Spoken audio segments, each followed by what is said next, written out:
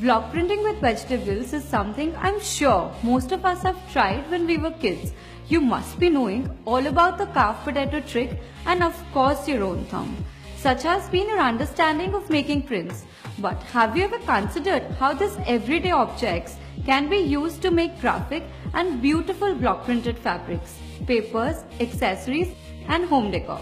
Hi, I'm Monisha and thank you for the overwhelming response on our previous video about block printing with wooden blocks. In today's video, I'm going to show you how to block print using vegetables.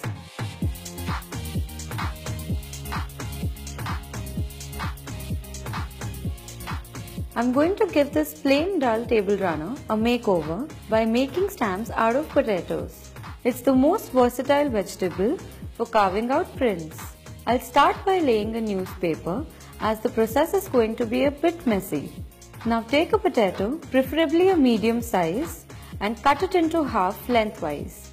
Take one half of the potato and cut it into a wedge shape like this. Now do you see I have two wedge pieces? I'll leave the first piece as it is and carve the second piece to make vertical stripes. To carve this piece, cut two straight lines next to each other slightly deep to carve the piece out. Follow this process carefully. This is how it should look like. To print the design, I'm using a green color and a blue color. Now I'll go ahead and decide the pattern on a piece of paper.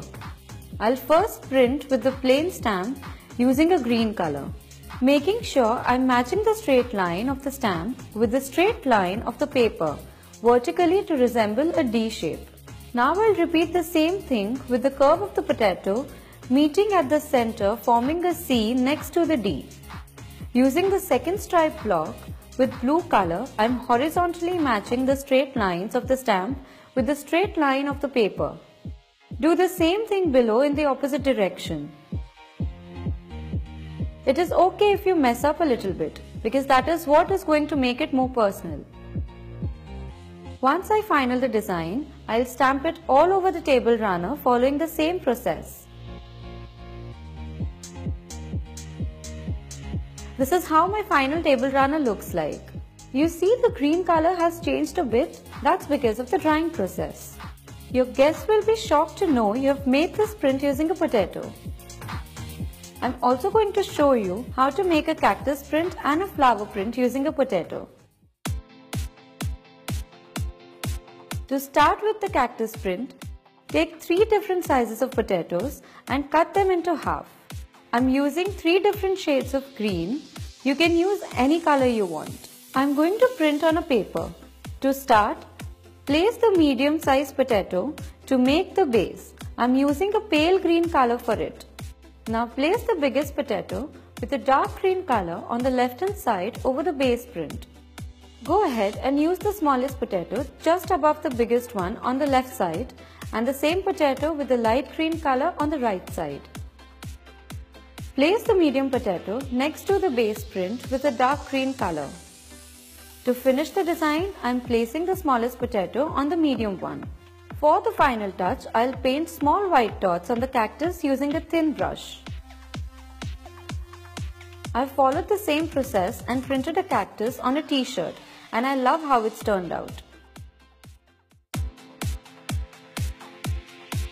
To make the flower print, I'm using a half cut potato. All you need to do is carve small V with the point of the V towards the center of the potato. Follow the same process for the entire potato and this is how it should look like.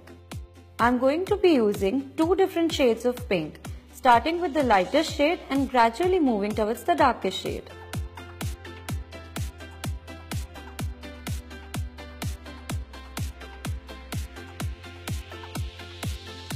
This is how the print looks like on a tote bag. Now I have shown you enough prints using a potato.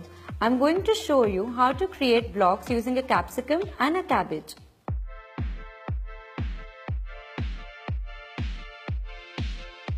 To start with the capsicum print, cut the capsicum in half. Now this is going to be my final block. I'm going to be printing directly on the cushion cover. But before I start printing, I'll put a paper between my cushion cover so the color does not seep to the back of the cover. To print the design, I'm going to be using yellow, blue, green and magenta.